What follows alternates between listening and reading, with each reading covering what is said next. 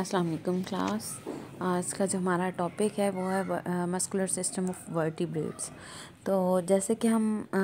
Invertebrate में कुछ muscular system की बात कर चुके हैं but muscular system is very much well developed in the vertebrates and in fact these are the vertebrates who are the more agile animal on this planet earth ज़्यादा तेज़ी से भाग सकते हैं, ज़्यादा तेज़ी से स्केप कर सकते हैं movement have lots of benefits जो कि वर्टिब्रेट्स बहुत effectively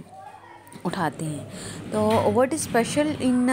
vertebrate is that they have endoskeleton and this endoskeleton not only provide support to the body but it also provide site of attachment for the muscle through the tendons tendons are very fine ligaments and very elastic but at the same time very resistant uh, kind of uh,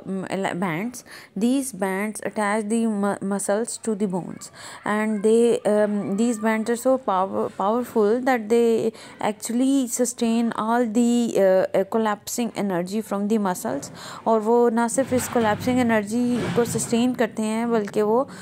muscle को flexibly movement में भी help करते हैं अगर हम जो है वो बात करते हैं अगेन फ्रॉम द फिशेस से वर्टिब्रेट्स जिनके बारे में कहा जाता है कि ये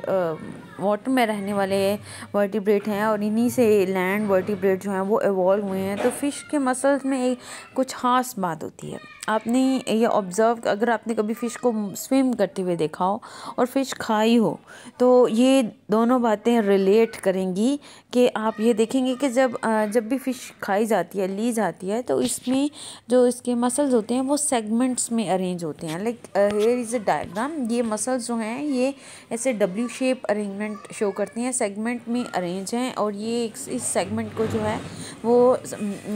सार्कोमियर का नाम दिया जाता है। हाँ सॉरी मायोमियर का नाम दिया जाता है, क्योंकि ये मसल की यूनिट है। मायो ये जो मायोमियर्स हैं ये ये डब्ल्यू शेप अरेंजमेंट रखते हैं और यही डब्ल्यू शेप अरेंजमेंट की वजह से फ़िश जो है वो एंडुलेशन शो करती है। यानी ये this is the kind of undulation आपने फ़िश को स्विम करते हुए देखा होगा कि फ़िश जो है वो अपनी आ,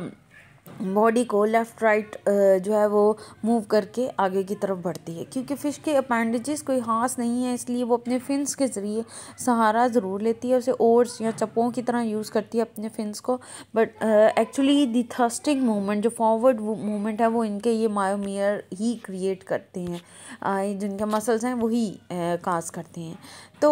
आ, लेकिन जैसे ही फ़िश से हम आ, ये अगर इमेजिन करें कि फ़िश से टेट्रापोर्ट या एम्फीबियन से इवॉल्व हुए हैं। तो एक बहुत बड़ी ट्रांसफॉर्मेशन जो कि फ़िश और टेट्रापोर्ट के मसल में है, वो ये है that they lack these myomeres यहाँ कोई सेगमेंटेशन नहीं है, बल्कि पावरफुल मसल्स हैं, एक ही इकलौता मसल है, जैसे कि आप अपने बाय अपने आर्म्स के मसल बाइसिप्स को देख सकती हैं लेग्स के मसल को देख, देखा जा सकता है यहाँ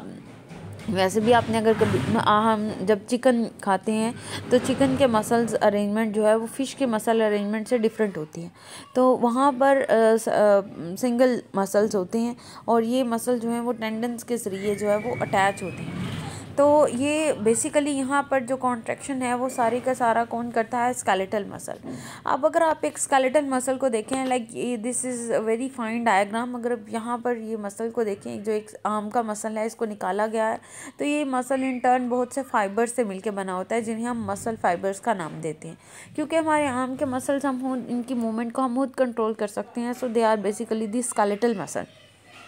तो हम जो है वो स्केलेटल मसल के ही मूवमेंट के बारे में पढ़ेंगे। ये जो स्केलेटल मसल्स हैं, इनके इनके हवाले से ये अगर देखा जाए, आपने वही अगेन चिकन की ही एग्जांपल लें। जब मीट खाया जाता है तो उसमें बहुत से फाइबर्स आप वैसे तो वो आपको एक ही नज़र आ रहा होता है मीट का पीस, लेकिन अगर आप उसको खोलें, उसको ज़रा बारीकी से देखें तो वो छोटे छोटे मसल्स पर मुश्तमिल होता है। These are basically muscle fibres अगर आप इन मसल फाइबर्स को ज़रा मज़ीद डिटेल में देखें अंडर द माइक्रोस्कोप तो आपको नज़र आएगा कि ये जो स्केलेटल मसल्स हैं, ये बेसिकली और बहुत से छोटे छोटे ये मसल फाइबर जो है, वो उसको ज़रा आप डिटेल्ड ऑब्ज़र्व करें तो ये और बहुत से छोटे छोटे मायोफिब्रिल्स पर मुश्तमिल होता है। और ये जो मायोफिब्रिल्स होते हैं, ये रैप होते हैं अराउंड शत, जो कि कनेक्टिव टिश्यू की शत है और इसमें ये जो न्यूक्लियस है वो बहुत प्रोमिनेंट होता है। यहाँ जी हमने एक मायोफिब्रिल को निकाल लिया है और अब हम उसको देख रहे हैं अंडर द इलेक्ट्रॉन माइक्रोस्कोप तो ये मायोफिब्रिल जो है, ये बहुत से सेगमेंट्स पर मुश्तमिल होता है। जैसे आप यहाँ पर इस लाइन में देख सकते हैं कि यहाँ से लेकर यहाँ तक का एक सेगमेंट है, यानी वन जी लाइन से लेकर दूसरी जी लाइन तक का एक सेगमेंट है। इसी तरह इस जी लाइन से लेकर इस जी लाइन तक का एक सेगमेंट है और इन सेगमेंट्स को हम सार्कोमियर का नाम देते हैं। अब ये जी लाइन्स क्या हैं और सार्कोमियर्स क्या हैं, इनको देखने के लिए ज़रा हम मज़ीद अपने इलेक्ट्रॉन माइक्रोस्कोप की रेजोल्यूशन को ज़्यादा करें तो दिस इज़ द सार्कोमियर ये आपको एक सार्कोमियर नज़र आ रहा है। यहाँ पर यहाँ पर वन एक जी लाइन से दूसरी जी लाइन तक का जो फासला है, वो एक सार्कोमियर कहलाता है। Sarcomere is basically compose from the actin and myosin यहाँ पर ये जो रेड कलर की थिक प्रोटीन दिखाई गई है दैट इज़ मायोसिन और जो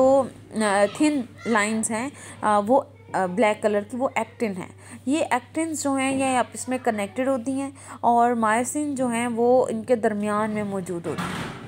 ये जो, जहाँ पर सिर्फ़ मायो, मायोसिन है, वहाँ पर आपको ये ए बैंड नज़र आ रहा है। ये ज़्यादा थिक ये आपको इस तरह से थिक पोर्शन नज़र आता है। थिक पोर्शन के दरमियान में एक्जोन है और यहाँ ये पोर्शन जहाँ पर सिर्फ़ जो है, वो एक्टिन यानी थिन प्रोटीन है, इस जोन को हम आई बैंड का नाम देते हैं। तो इस तरह से ये एक आपके मसल का जो है वो स्ट्रक्चर है इंटरनल स्ट्रक्चर और बेसिकली इसकी ये जो मकैनिज़म है मसल कॉन्ट्रैक्शन का वो भी इसी स्ट्रक्चर में ही पोशीदा है। होता क्या है कि ये जो आप क्रॉस ब्रिजेस देख सकते हैं जो कि ये सार्कोमियर पर हैं, ये ये लाइंस जो कि इस तरह से आपको ये लाइंस नज़र आ रही हैं they are basically the cross bridges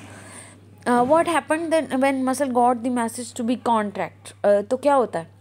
ये जो क्रॉस ब्रिजेस हैं मायोसिन फिलामेंट के ये एक्टिन फिलामेंट के साथ अटैच हो जाते हैं। And they literally you can say कि ये एक्टिन uh, फिलामेंट को लिटली स्लाइड पास्ट करते हैं अपनी तरफ़ खींचते हैं जिसकी वजह से क्या होता है कि ये मसल uh, जो है वो कॉन्ट्रैक्ट हो जाता है इसकी लेंथ छोटी हो सक हो जाती है। जैसे आप यहाँ देख सकते हैं कि जो क्रॉस ब्रिजेस हैं यहाँ पर मायोसिन फिलामेंट के they attach with the actin filament यहाँ पर और यहाँ पर आप देख सकते हैं कि ये इनकी शेप चेंज हो रही है यहाँ पर और ये एक दूसरे इनको अपनी तरफ़ दोनों डायरेक्शन में खींच रहे हैं। और इसके खींचने से ये जो लाइंस हैं, ये एक दूसरे के करीब आ जाएँगी, एक दूसरे के साथ मिल जाएँगी। जो एच जोन है, वो गायब हो जाएगा क्योंकि ये सब जो एक्टिन है, वो पूरे का पूरा मायोसिन के ऊपर आ गया है। और इस तरह से ये ये जो है, ये कॉन्ट्रैक्शन होगी।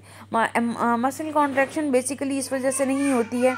कि मसल्स जो हैं, वो कॉन्ट्रैक्ट साइज़ में छोटे हो रहे हैं, बल्कि वो साइज़ में एक्चुअली छोटे होते हैं, लेकिन एक्टिन या मायोसिन साइज़ में छोटी नहीं होती है, बल्कि ये एक दूसरे के ऊपर स्लाइड पास्ट करती हैं। इसीलिए इस फिलम इस मॉडल को sliding filament model of muscle contraction का नाम देते हैं। सो मसल कॉन्ट्रैक्शन के मैकेनिज़्म को समझने के लिए इसकी जो इंटरनल स्ट्रक्चर है, वो समझना बहुत ज़रूरी है। तो होपफुली आप लोगों को ये क्लियर हो गया होगा। हम जो है, वो नेक्स्ट इसके मैकेनिज़्म की बात करेंगे।